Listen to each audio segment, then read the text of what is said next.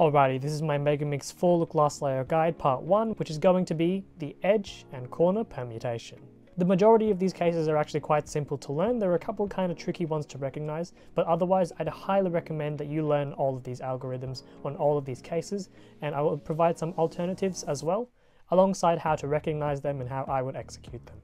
A prerequisite to this video is knowing your Megaminx finger tricks. So it's especially important to know how to finger trick your Megaminx correctly as there's a lot of U2, U2 prime, and ADOs or BETOs that might come in handy when doing Megaminx last layer. If you don't know how to do that, I highly recommend you check out my Megaminx finger tricks video here from beginner to advanced, then coming back to this one.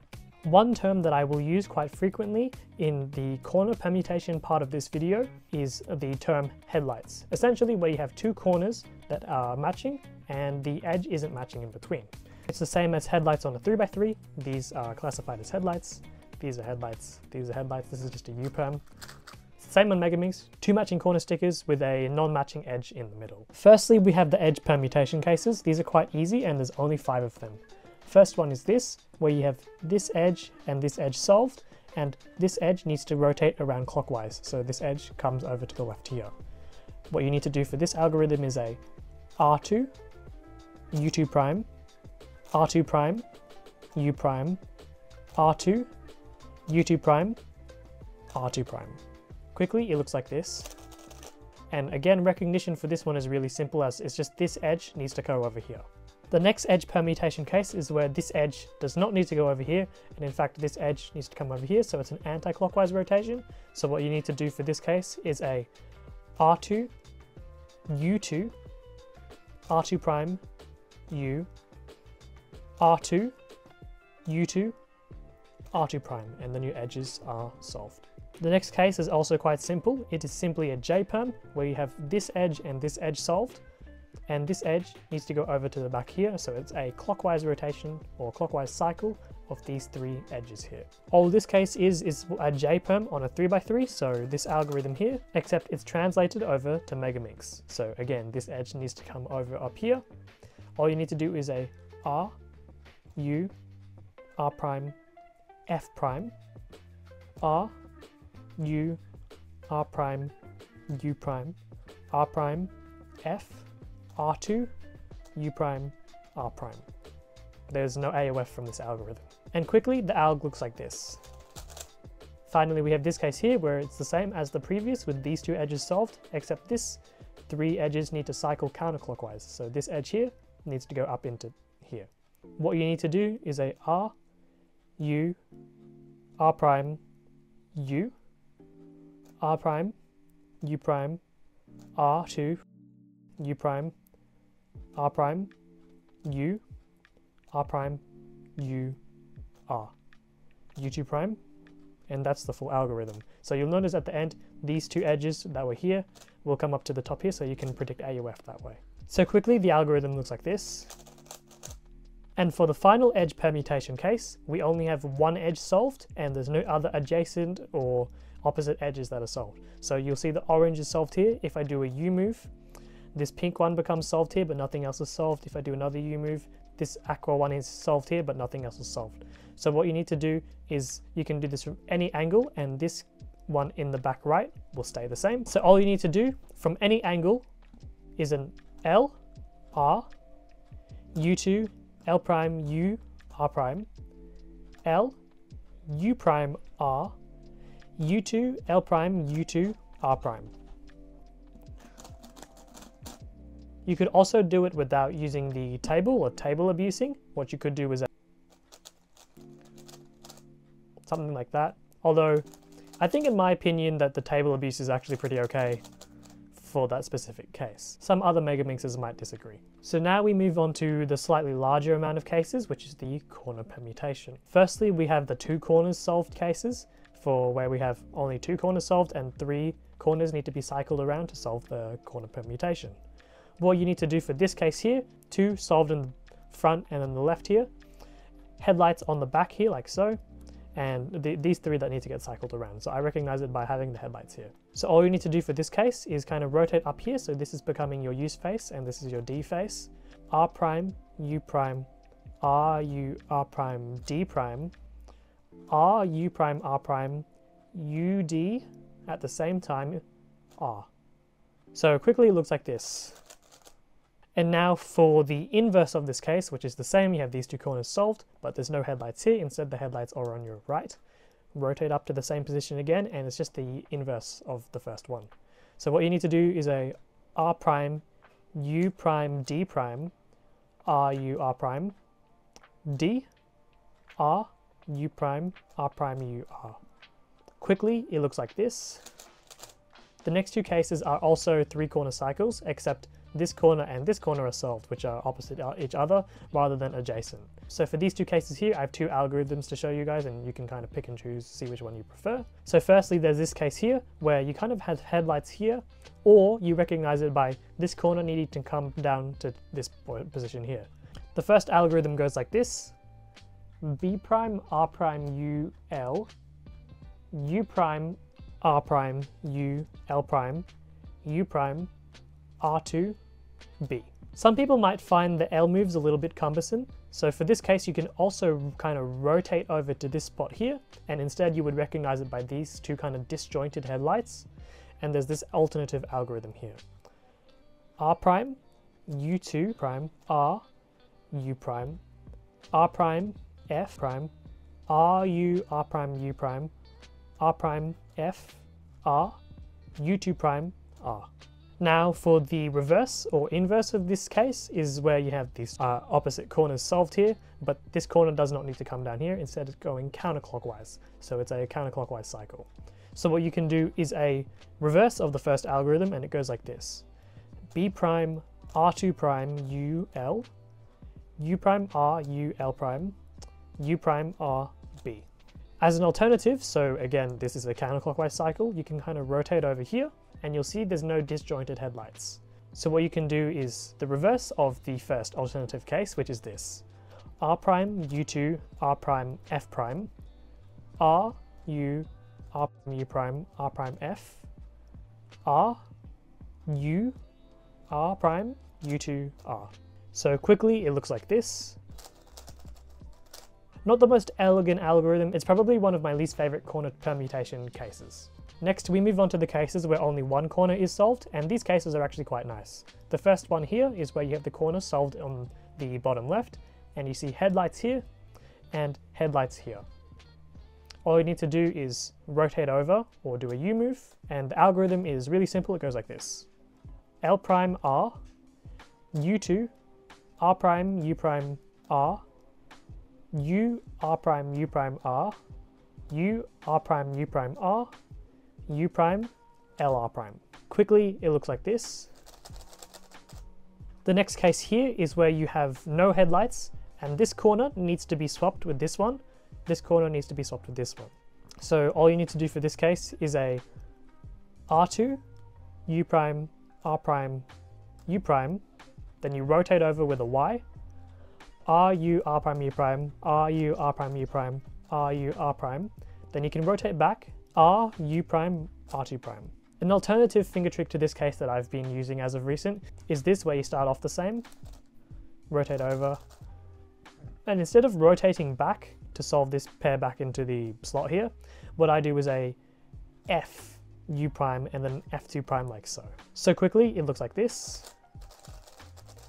And for the final single corner solved case, we have uh, this case here, where it's quite recognizable actually, where you have these two that swap, and these two that swap. R, U, R prime, U, R prime, U prime, R, F prime, R, U, R prime, U prime, so sexy move, R prime, F, R, so sledge, R prime, U prime, R prime, so you're inserting that pair into here, then R prime, U, R. So quickly the algorithm looks like this.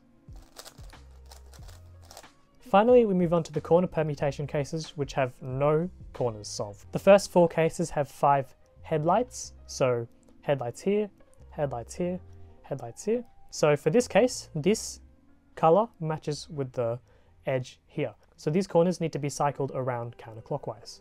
What you can do is a R prime, D prime, R, U, R prime, D, R, U, R prime, D prime, R, U, R prime, D, R U R prime D prime, R U R prime D, R.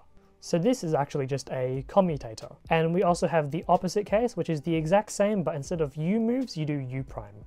So in this case, you do a R prime, D prime, R, U prime, R prime, D, R, U prime, R prime, D prime, R, U prime, R prime, D, R, U prime, R prime, D prime, R, U prime, R prime, D, R. For the next two cases, we have five headlights again, but they uh, need to be rotated around two positions. So for this corner, it needs to move around one, two. This corner needs to move around one, two. This corner needs to move around one, two, you get the idea. For this case here, you can recognize it two ways. I kind of use a combination of both when recognizing. So you can see that this color here, this aqua color, needs to go up to the back left, or that this edge here matches these two headlights on the right here. So what you can do for this case is a R2 prime, U2 prime, R2, U, R2 prime, U, R2, then do a Y rotation, so you rotate over this way, R2, U prime, R2 prime, U, R2, U2 prime, R2 prime, and then a U as the AUF. And now for the opposite case, where these headlights match this edge here, or the headlights color on the front, so this aqua needs to go to the back left. So what you can do for this case is R, U2, R2 prime, U, R2, U prime, R2 prime, Y prime, so you rotate over this way, R2 prime, U prime, R2, U prime, R2 prime, U2, R2, then U prime. So for the next two cases, you only have two headlights. So for this first case here, I recognize it by having a headlights here and looking for any adjacent colors and looking for any adjacent edge color. So this adjacent edge color is the orange here.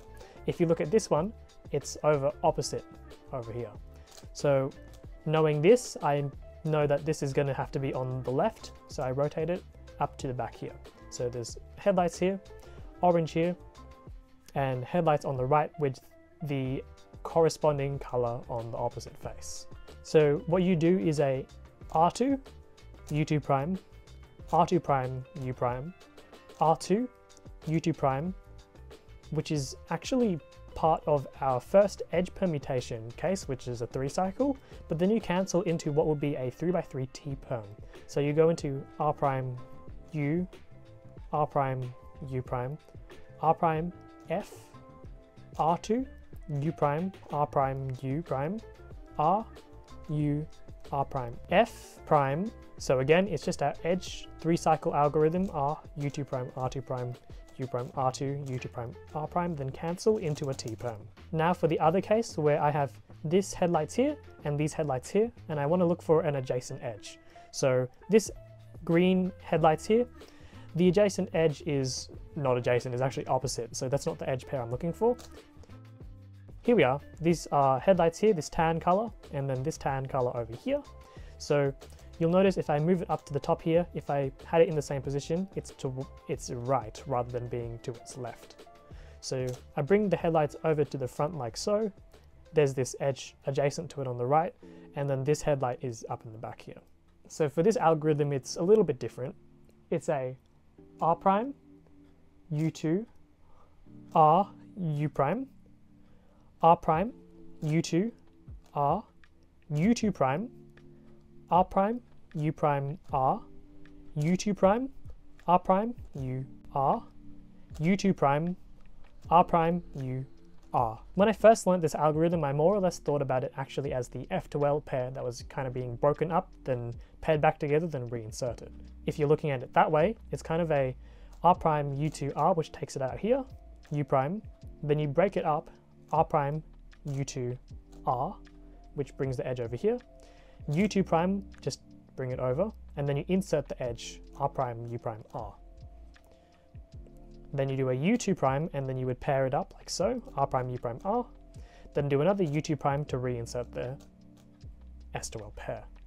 Finally, we move on to our last two cases, where we have no corners solved and no headlights. For this case here, I'd like to thank James Macdiarmid for his video. Um, it's a very I was scratching my head for quite a while as to how should I recognize this case because, you know, there's no real point of reference here. Here's the diagram of it, and you'll notice that some of the corners move across and some of the corners move adjacently.